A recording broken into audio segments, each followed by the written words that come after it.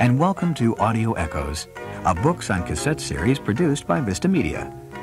These two cassettes feature the wisdom of best-selling author Dr. Ross Campbell as he helps parents understand how to really love their teenagers. And parents aren't the only ones who will benefit from Dr. Campbell's advice. This material is invaluable for anyone who works with and cares for teenagers.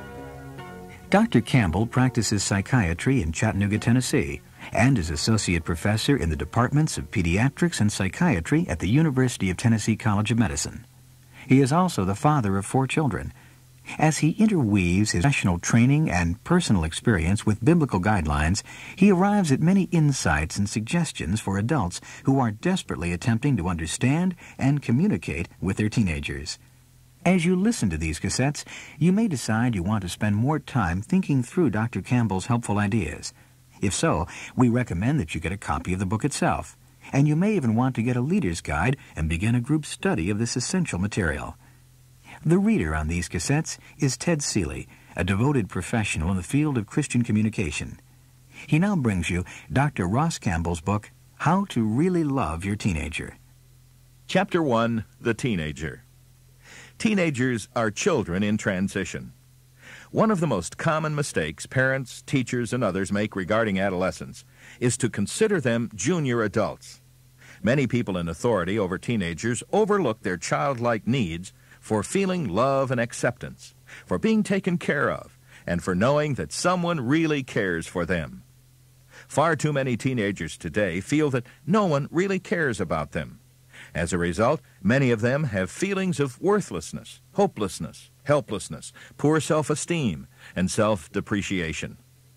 A teenager may be bigger, smarter, stronger, and in other ways superior to his parents. But emotionally, he is still a child.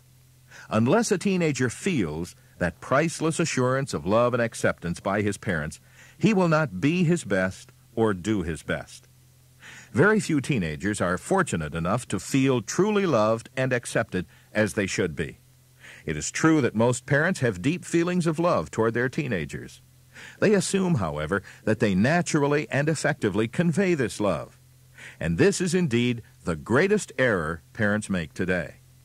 Most parents are simply not transmitting or conveying their own heartfelt love to their teenagers because they don't know how. That is what this book is all about. It is a how-to book to help parents know how to love their teenagers so they will be their best, act their best, and grow to become their best. I pray that it will be not only a book of answers for the weary, confused parent, but also a book of hope. I love teenagers. They're about the dearest people I know. Given what they need emotionally, they are able to respond in such wholesome and joyful ways that sometimes I think my heart will burst. Yes, they are definitely capable of trying us to our utter limits of tolerance and patience. Yes, sometimes we lose our cool and our tempers and feel we simply do not have what it takes to meet their needs. We may even want to run away or give up. But, dear parent, hang in there. Our perseverance is indeed worth it, for it is a priceless wonder to see our teenagers develop into pleasant and productive adults. I truly want this book to be a source of hope to you. The last thing I want is to cause you to feel guilty. We all make mistakes. Just as there are no perfect children, there are no perfect parents. Don't let guilt from past mistakes damage your efforts to raise your teenagers well. Most adolescent problems can be alleviated or rectified by correcting tensions in the parent-teenager relationship. However, there are some teenager problems which are caused or aggravated by neurological ills or physiological depression. These medical problems must be alleviated before attempting to correct parent-teenager relationships. Take, for instance, the story of a girl we'll call Debbie Batten. Her parents sat in my counseling room and told me this story. I can't believe she did it, explained Mrs. Batten. She was such a good girl, always content, never gave us much trouble. I thought we were giving Debbie everything she needed clothes, church, good home, and all. She always seemed happy. Why would she ever try to kill herself? How could she have taken all those pills? Did she really want to die? Or is she just trying to get attention? I'm so confused, and she's gotten so hateful and sullen. I can't talk to her, and she won't talk to me. She just wants to spend time by herself in her room, and her grades have become terrible. When did you notice these changes in Debbie? I asked. About two or three years ago, replied Mrs. Batten. But it was so gradual we didn't think anything was seriously wrong until fairly recently. She's 15 now. During the last few months of sixth grade, we noticed she became bored, first with school. Her grades began falling. Then Debbie gradually became bored with life. She gave up her favorite activities one by one and seemed to lose interest in everything, including church. She began to avoid her good friends and spend more and more time by herself. She talked less and less. But everything became even worse when she began seventh grade. She completely withdrew from her old standby friends and began running around with kids who were in trouble most of the time. Debbie's attitude worsened as she became more like her new friends, and they often led her into trouble, deep trouble. But we've tried almost everything, Mrs. Batten continued. First, we spanked her. Then we began taking away her privileges and freedoms. We've grounded her. We've tried rewarding her for good behavior. We've talked to everyone we thought might be able to help us. I really believe we've tried everything. We love Debbie, Dr. Campbell. What can be done? Is it hopeless? I saw Debbie later after her parents left. She was a pretty girl with likable ways. Although unquestionably intelligent, she had difficulty speaking in a clear, audible way. She communicated mostly with grunts and many uh-huns. Debbie did not have the natural spontaneity and enthusiasm we like to see in an early adolescent. She was obviously unhappy, and it was difficult to communicate with her. However, when Debbie felt more comfortable, she spoke more freely, and her eye contact improved. As the conversation continued, it became clear that Debbie was suffering from an increasingly frequent and serious adolescent problem, depression. For years, Debbie had longed for a close, warm relationship with her parents. But during the past few months, she had gradually given up hope in this dream. More and more, she turned to her peers, who she thought would accept her more lovingly. But her unhappiness deepened even more. Debbie represents a common and tragic occurrence among early adolescent girls. Debbie seemed to be happy and content during her earlier years. Even though she had parents who deeply loved her and cared for her, Debbie did not feel genuinely loved. She did not have the precious and crucial feeling of being completely and unconditionally loved and accepted. Is it the parents' fault? Are they to be blamed? I do not believe they should be. Mr. and Mrs. Batten have always loved Debbie, but have never known how to convey their love. As with most parents, they have a vague notion of the needs of a child protection, shelter, food, clothes, education, guidance, love, etc. They have met essentially all these needs except unconditional love. I believe parents who really desire to give their teenagers what they need can be taught to do so. Parents need to learn how to genuinely and effectively transmit their love to their teenagers. And that is what this book is all about. Chapter 2 The Home Chuck's parents brought him to me because of truancy, stealing, and disobedience. The Hargraves talked about their son with frustration and anger. The intensity of their negative feelings toward the boy concerned me. Chuck said nothing, but sat solemnly with his eyes downcast while he listened to his parents' accusations. When he finally spoke, he did so in a soft, meek voice and with short phrases rather than sentences. I spent some time with Chuck alone after his parents left the office. He was angry, but he couldn't tell me exactly why. It soon became evident that Chuck was confused about himself and about the relationship between his parents. He was also puzzled regarding his misconduct, for he was a bright boy, and his stealing, since he did not need the items that he took, and it was obvious that he had set himself up to be caught. Chuck's case is not unusual. Although his parents mean well, they have made several mistakes in raising Chuck. Their marriage is in trouble, largely because they have not learned to share their feelings and opinions with each other. Mrs. Hargrave has never been able to express her normal anger in an open, healthy, direct way to her husband. Therefore, she manifests her anger by getting back at him in subtle and indirect ways, such as overspending. Mr. Hargrave, who feels unable to be openly honest with his wife, expresses his anger by being silent, avoiding eye contact, and evading family and home responsibilities. Chuck has learned his lesson well.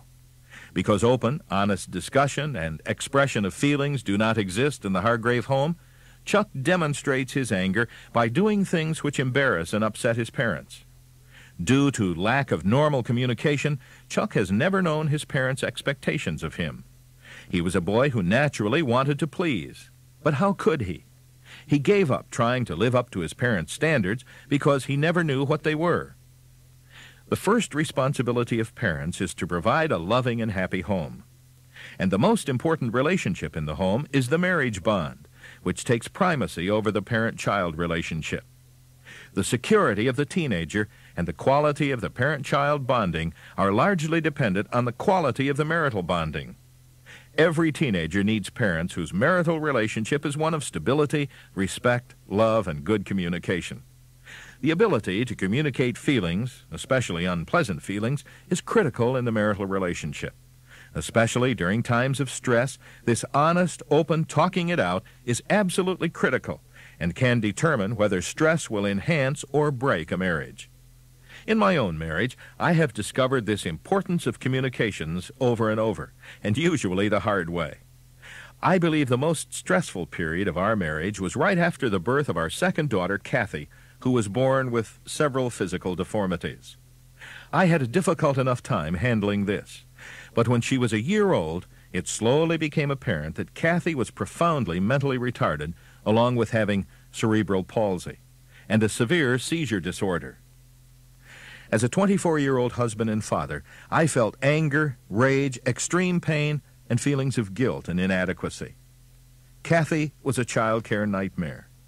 When she could finally move herself along the floor, she would head straight to the garbage can and try to eat the garbage or anything else she could put in her mouth. She had little sense of pain and would often attempt to place her hands on the hot stove burners.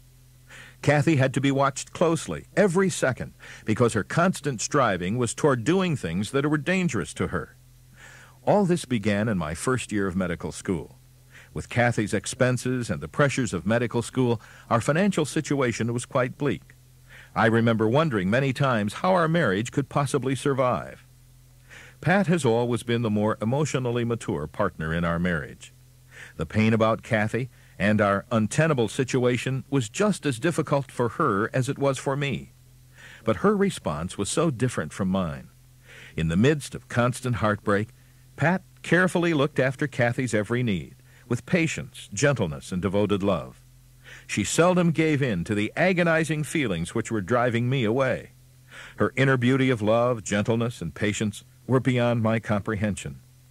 I somewhat resented her for this and tended to pull away from her and Kathy whenever I reasonably could. Yet I truly loved Pat and realized that instead of helping her, I was adding to her crushing burden. So I felt guilty and utterly helpless. I went to several people seeking help on how to deal with this agony. But no one knew what I was talking about. I was barely coping. I hurt inside for Kathy from morning to night. I had difficulty concentrating on my studies and kept wondering how we were going to manage financially. In short, I was miserable and feared that we could not survive much longer. I wondered, how much stress can a marital relationship be expected to bear? Will it break or simply die? By this time, Kathy was five years old. Her seizures were becoming worse and were less and less controlled by medication. Eventually, the slightest environmental change would set off another seizure.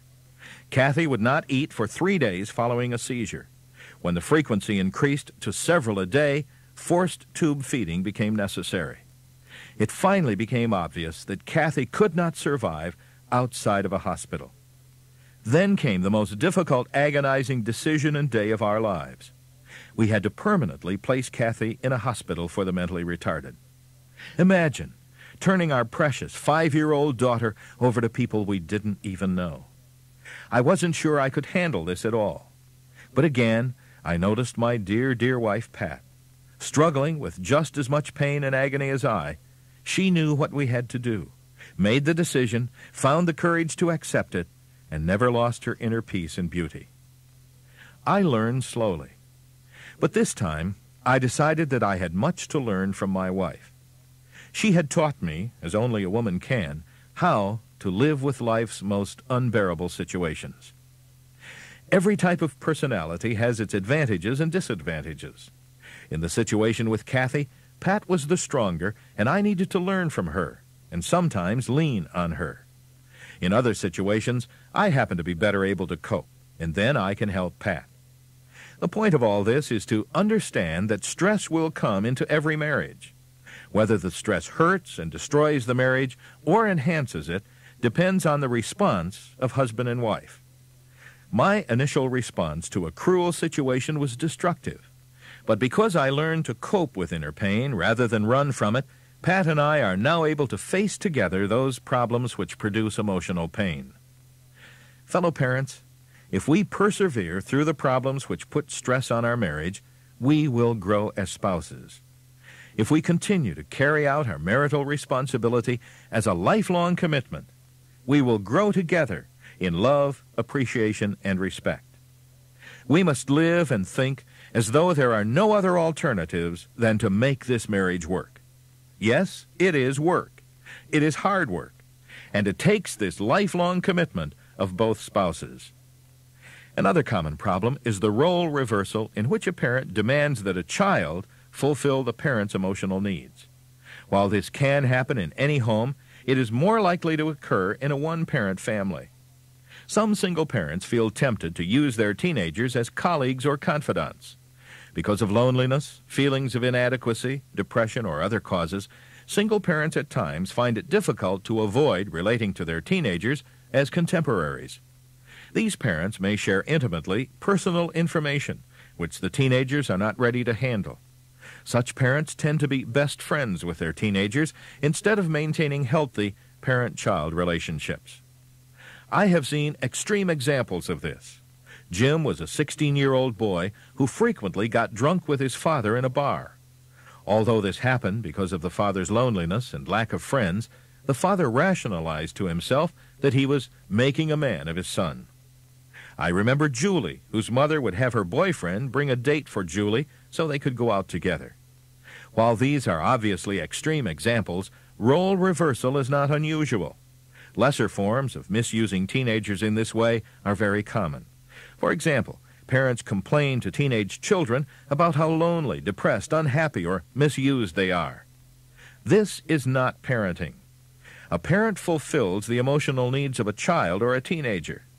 For the teenager to fill the emotional needs of a parent is reversal of roles and is unwholesome. A teenager treated in this way cannot develop normally. I have never particularly enjoyed being an authority for anyone, especially for my children.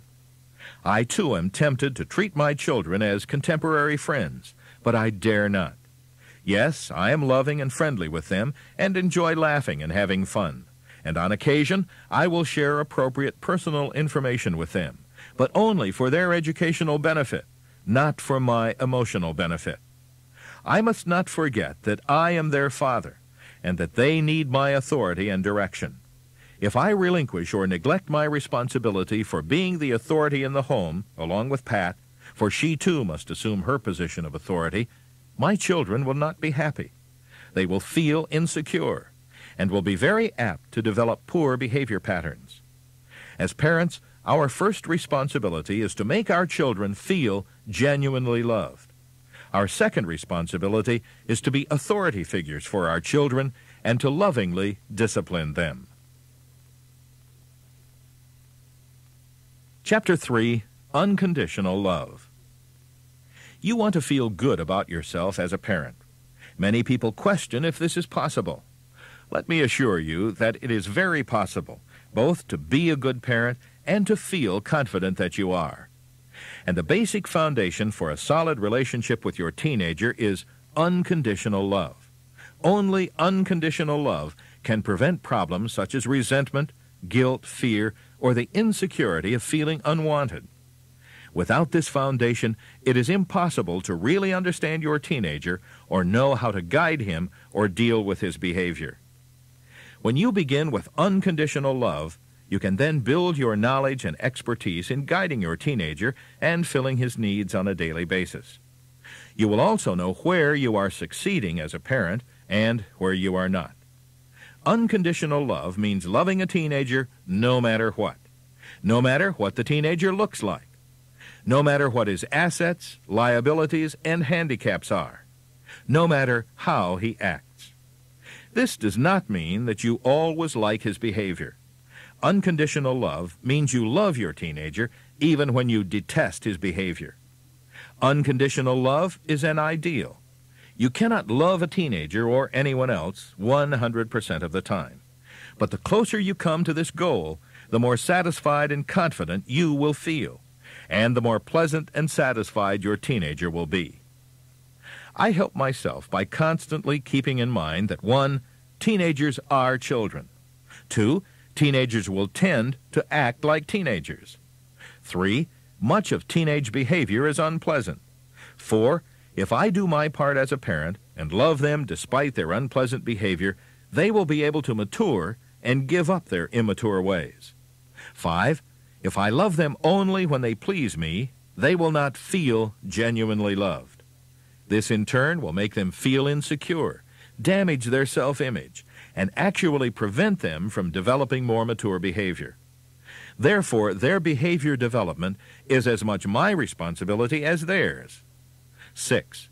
If I love them unconditionally, they will feel good about themselves and be comfortable with themselves. They will be able to control their anxiety and, in turn, their behavior as they grow into adulthood. 7. If I love them only when they meet my requirements or expectations, they will feel incompetent. They will believe it is fruitless to do their best because it is never enough. Insecurity, anxiety, and low self-esteem will plague them. 8. For my sake, as a struggling parent, and for the sake of my children, I pray my love for them will be as unconditional as I can make it. The future of my teenagers depends on this foundation. Do you know what is the most important question in your teenager's mind? Without realizing it, he is continually asking, Do you love me? It is absolutely the most important question in the teenager's life. And he asks the question primarily through his behavior rather than with words. The answer you give to that question is absolutely critical. If you answer it no, your teenager will not be or do his best. The problem is that most parents do not know how to answer yes, and they don't know how to convey their love to their teenagers. One of the main reasons most parents do not know how to convey their love to their teenager is because teenagers, like younger children, are behaviorally oriented. Adults are primarily verbally oriented. Having a warm feeling of love in your heart for your teenager is wonderful but it's not enough. Saying, I love you to a teenager is great and should be done, but it is not enough. For your teenager to know and feel you love him, you must also love him behaviorally, because he is still primarily behaviorally oriented. Only then can he answer yes to the crucial question in his heart, Do you love me? Your teenager sees your love for him by what you say and do. But what you do carries more weight. Your teenager is far more affected by your actions than by your words. It is also important to remember that your teenager has an emotional tank. This tank is figurative, of course, but the concept is very real. Your teenager has certain emotional needs, and whether these emotional needs are met through love, understanding, discipline, etc., helps determine how he feels, whether he is content, angry, depressed, or joyful. Also, it strongly affects his behavior, whether he is obedient, disobedient, whiny, perky, playful, or withdrawn. Naturally, the fuller the tank and the more positive the feelings, the better the behavior. At this point, let me make one of the most important statements in this book. Only if the emotional tank is full can a teenager be expected to be his best and do his best. It is your responsibility as a parent to do all you can to keep the emotional tank full. Children and teenagers may be conceptualized as mirrors. They generally reflect rather than initiate love. If love is given to them, they return it. If none is given, they have none to return. Unconditional love is reflected unconditionally, and conditional love is returned conditionally. As we mentioned before, teenagers are children emotionally. To illustrate this, let's look at how a teenager is like a two-year-old. Both a teenager and a two-year-old have drives for independence, and both have emotional tanks. Each will strive for independence, using the energy from the emotional tank. When the emotional tank has run dry, the teenager and the two-year-old will do the same thing. Return to the parent for a refill, so they can again strive for independence.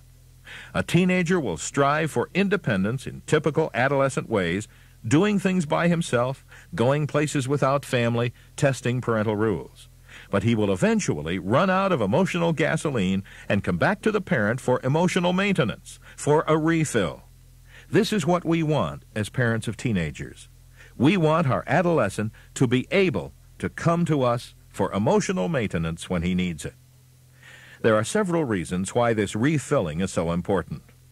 One, teenagers need an ample amount of emotional nurturance if they are to function at their best and grow to be their best. Two, they desperately need full emotional tanks in order to feel the security and self-confidence they must have to cope with peer pressure and other demands of adolescent society. Without this confidence, teenagers tend to experience difficulty in upholding wholesome ethical values. 3. The emotional refilling is crucial because while it is taking place, it is possible to keep open lines of communication between parents and teenagers. When a teenager's tank is empty and he seeks parental love, communication is so much easier. Most parents do not realize how important it is for their teenager to be able to come to them to have his emotional tank refilled. During times when a teenager is striving for independence, he may upset his parents to such an extent that the parent overreacts emotionally and usually with excessive anger. But if parent-child communication is broken, a teenager may turn to his peers for emotional nurturance. What a dangerous and frequently disastrous situation this is. For a teenager will then be easily susceptible to peer pressure, to influences of religious cults, and to unscrupulous persons who use young people.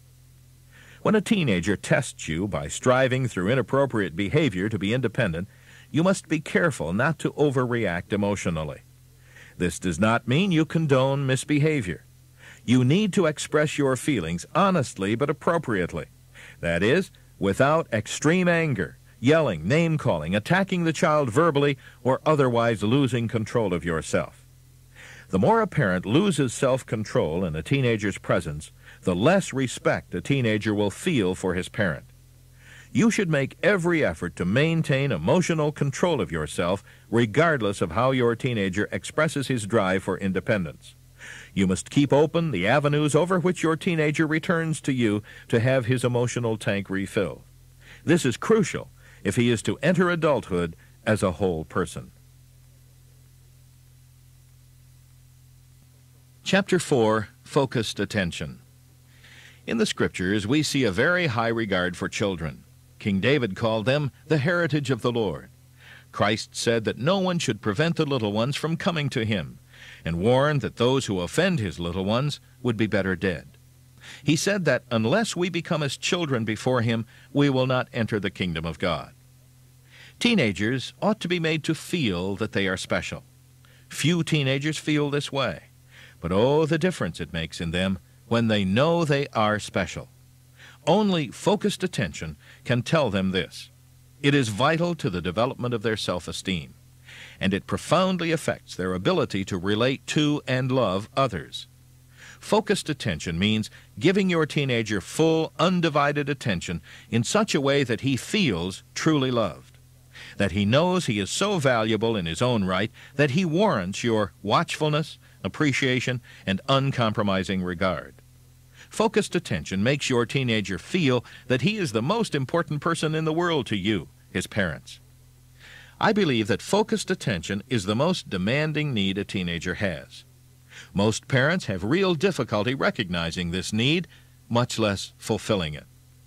Other things they do for their teenagers, favors, gifts, and granting unusual requests, seem to substitute for focused attention at the time. These things may be good, but it is a serious mistake to use them to replace genuine focused attention. Without focused attention, a teenager experiences increased anxiety because he feels everything else is more important than he is. He is consequently less secure and becomes impaired in his emotional and psychological growth. Such a teenager can be identified rather easily. He is generally less mature or sure of himself than teens whose parents have taken the time to fill their need for focused attention. This unfortunate teenager is often withdrawn and has difficulty with peers. He is less able to cope and usually reacts poorly in conflict. He is overly dependent on others, including peers, and is more subject to peer pressure. Some young teenagers, however, especially girls deprived of focused attention from their fathers, seem to react in just the opposite way. They are quite talkative, manipulative, dramatic, and often seductive. They are sometimes considered precocious, outgoing, and mature as children. But as they grow older, this behavior pattern does not mature and gradually becomes more inappropriate. By the time they are older teenagers, they are usually obnoxious to their peers as well as to adults. However, even at this late date, focused attention, especially from their fathers, can go a long way in reducing their self-defeating behavior, decreasing their anxiety, and freeing them to resume their maturational growth.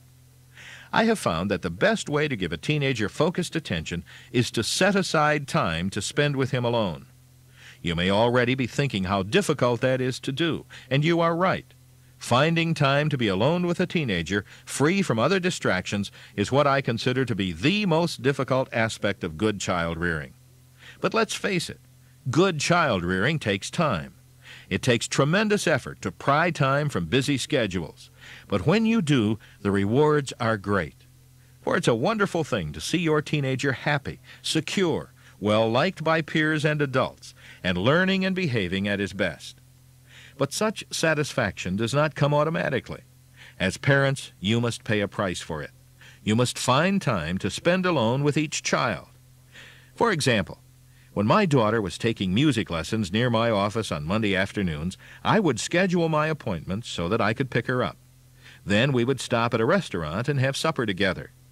At these times, without the pressure of interruption and time schedules, I was able to give her my full attention and listen to whatever she wanted to talk about. Only in this context of being alone without pressure can parents and their child develop that special, indelible relationship which each child so desperately needs to face the realities of life. A child treasures moments like these and remembers them when life becomes difficult, especially during those tumultuous years of adolescent conflict. As children grow older, these times of focus need to be lengthened. Older children need time to warm up, to let their developing defenses down, and to feel free to share their innermost thoughts, especially those that may be troubling them. As children enter adolescence, they need more time with family, not less. It is so easy to assume that since teens are rapidly becoming more independent and seem to want more and more time away from the family, that you should spend less and less time with them. This is one of the most devastating mistakes parents make today. As their children enter and progress through adolescence, parents often use their free time in ways which meet their own pleasure needs. Every teenager I've known interprets this as rejection feeling that their parents care less and less about them. Adolescents are facing strong influences daily, and unfortunately, many of these influences are unhealthy, unwholesome, and sometimes evil. If you want your teenager to be able to cope with today's world, you must spend constructive time with him, especially when he's going through adolescent turmoils. If you do take the time to meet these needs, your teenager will gain the confidence and personal integrity to think for himself about the kind of values he will live by. I remember when my precious daughter Carrie was 14 years old. What a year! She was undergoing the typical transitions of early adolescence and would frequently communicate only with grunts like uh-huh, uh-uh, and huh.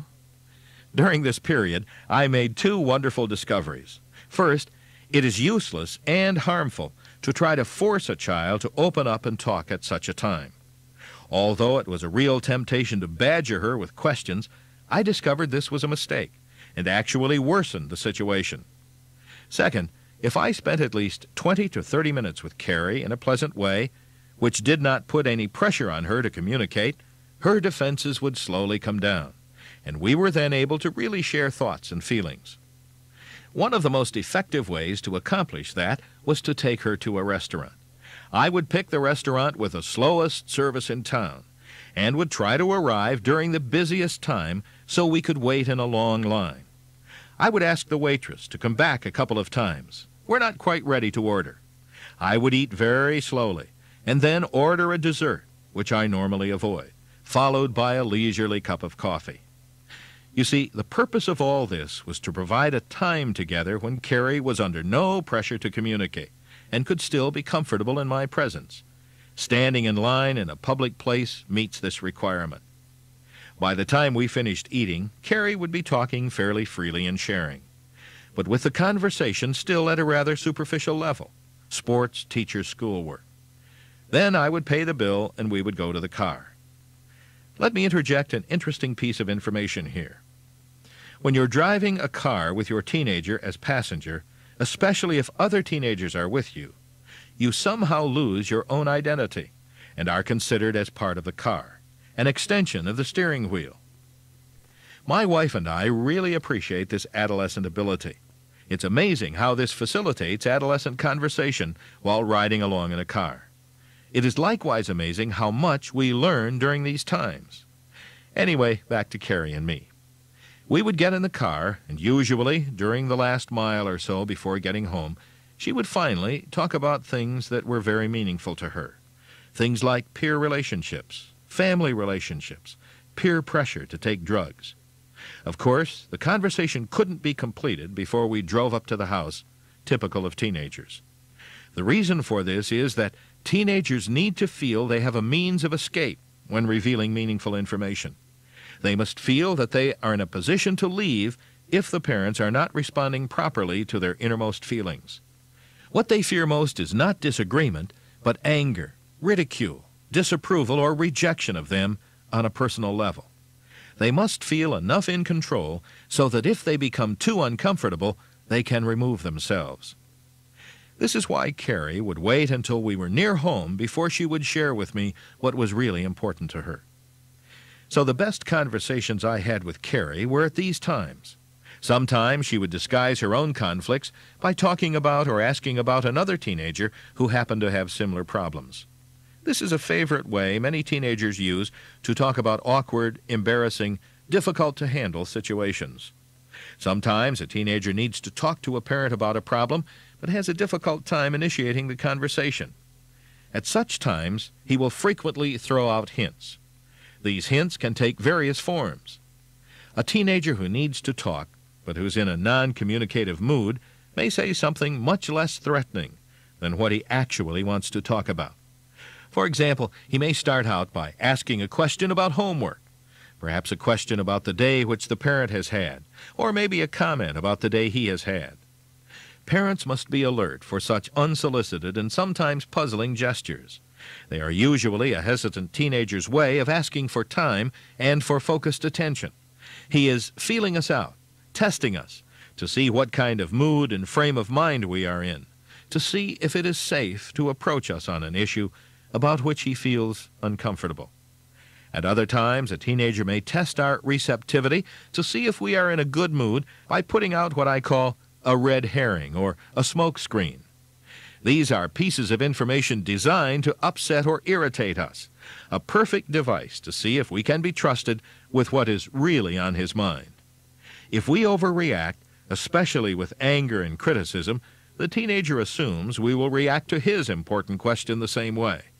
Again, the more self-control and calmness we display, the more open and sharing our teenager will be with us. These moments of opportunity are priceless. If we do not notice them and somehow close the door to the teenager, he will feel rejected. If we are alert and can detect these subtle clues, we can respond appropriately and help our teenager, as well as demonstrate conclusively that we love him and are sensitive to his needs. I remember many such occasions when Carrie was in her early teens. Most often, she would select a time when she knew her mother and I were alone, with the least likelihood of interruption. You can guess when this was, just as Pat and I were ready to turn off the light for a good night's sleep. Carrie's younger brothers were fast asleep, so she had no competition. First, we would see the door slowly open as Carrie came in and asked her mother if she could borrow something from the adjoining bathroom. After Carrie got the item she asked for and was in the process of leaving, she would turn around and say to us, Oh, by the way. I cannot overemphasize the importance of recognizing and noting these all too familiar words, oh, by the way, or their equivalent. Do you know what they usually really mean when said by a teenager in such a situation? A translation is sometimes like this The real reason I'm here, and what I really want to talk about is coming up. But first I must know, are you in a good frame of mind to handle it? Can I trust you with this very delicate personal part of my life? Will you take it and help me? Or will you use it against me? Can I trust you? If we do not give that focused attention at such a time, a teen will interpret the answer to be no. But if we focus our attention directly on the child and listen intently and quietly, letting him control the conversation, our teenager will feel it is safe to take a chance and reveal a pressing problem. Incidentally, be ready for those famous four words after a red herring or smoke screen. I remember that I would sometimes goof and do something like telling Carrie to be sure to turn out all the lights, and then would feel a swift kick under the covers because my wife would recognize what the child was telling us and would know that she needed that precious commodity, focused attention. Always when we were on course, Carrie continued the conversation on her own, talking initially about superficial things and gradually about items which were more and more important to her. After a while, she would be sitting at the foot of our bed. Pretty soon, she would be lying across the foot of the bed, the talk continuing to pour out. Before we knew it, she would be lying between us. Finally, she would get to the thing that was bothering her. I remember one such time when she said, I don't know if Jim likes me anymore. He's been so different. How difficult that was for Carrie to come out with. She had to make sure the situation was safe for her to share. She had to put out her red herrings and smoke screens before she could finally reveal her problem. Once a sensitive issue is out, it is a real temptation for parents to make light of it with a casual, seemingly flippant reply as though it is such a trivial or easy to handle issue. We must take our teenagers seriously, examine their problems carefully with them, and help them to come to logical and sensible solutions. In this way, we not only will help them with their problems, but more importantly, will cement our love relationship with them and as we help them to solve their own problems, we can also be teaching them to think logically, rationally, and sequentially. Only by learning to think clearly can a teenager develop the ability to discern right from wrong and to develop a strong value system. To understand the background of most teenage problems, it's important to be aware of adolescent society. Teenage society is complex, but is based primarily on popularity and acceptance. It is important to know approximately where your child is in this network of relationships, because some of the most painful adolescent problems are peer related and involve one or more of four feelings envy, guilt, anger, and depression. Anger and depression will be discussed in detail later. So now let's consider envy and guilt. In dealing with peers, teenagers frequently have problems which naturally make them feel guilt or envy. If a teenager's problem involves a peer who is lower on the adolescent society ladder, he will probably feel guilt. If his encounter was with someone above him, the feeling will usually be envy. It's important for parents to see their teenager's position in the conflict and identify the feelings the teenager is struggling with. Explaining the situation to a teenager will help him in several ways. It will enable him to understand exactly what is happening and why. It will help the teenager determine whether he has done anything wrong. It will assist him in handling this situation and others like it. For example, if a teenager is feeling guilty, A clear understanding of the situation will usually reveal there is no blame to be laid and that the real problem is actually the other teenager's feeling of envy. If your teenager is feeling envious, it is so helpful for him to be able to identify this within himself and to understand why. Then you'll be in a position to help him correct the problem by understanding that there is no real basis for the jealousy, if this is true, or by learning how to overcome the envy if there is a basis for it. It is vital to the emotional development of our teenagers that we help them to identify and understand envy and guilt in themselves and learn how to handle these emotions properly. If they are unable to, they are likely to be manipulated by guilt. The more sensitive a teenager is, the more susceptible he is to such manipulation. On the other hand, the less sensitive a teenager is, the more apt he is to use this type of manipulation on others. Of course, the classic example of this, and one of the most destructive, is the boy who attempts to induce a girl to have a sexual encounter with him with such remarks as, If you really loved me, you would. The parent of a sensitive teenager is in an excellent position to teach the child about this unwholesome device. The teenager needs to understand three things how to recognize manipulation by guilt, that this device is unwholesome, unhealthy, and unethical, that it is wrong, that the normal and justifiable reaction to manipulation is anger. In the story about the confrontation between Jesus and the money changers in the temple, I see manipulation as one element that caused Jesus' anger. The people coming to the temple needed to sacrifice to fulfill their religious obligation. They would feel guilty if they did not offer an animal sacrifice. In the scene which Jesus described as a cave full of robbers, there was manipulation by guilt, and Jesus' anger was an appropriate reaction. Parents must be careful not to manipulate their teenagers by guilt. It is so easy for parents to fall into this trap, especially if they happen to have an extremely sensitive child. A teenager who has been manipulated with guilt by his own parents will be easily manipulated by others. What is the best way to prevent teenagers from being manipulated by guilt? Within the context of unconditional love and focused attention, parents can train their teenagers to identify manipulative behavior in others and to stay free of its trap. Chapter 5 Eye Contact and Physical Contact. We live at a time in history when it's critical for our teenagers to feel and know that we really love them.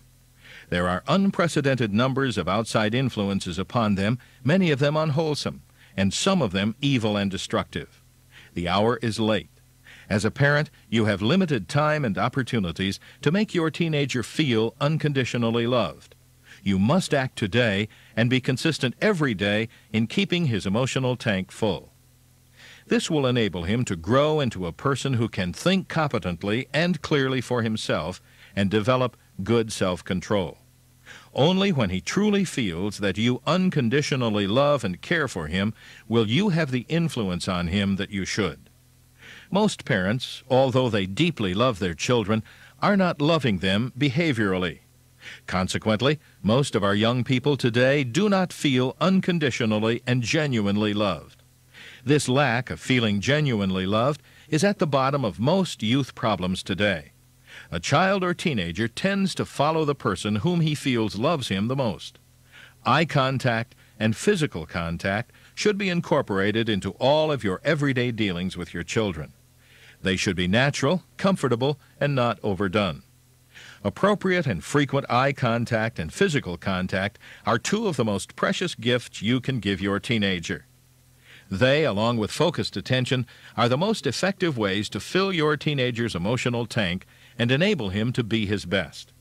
In some homes, there is amazingly little eye contact between parents and teenagers.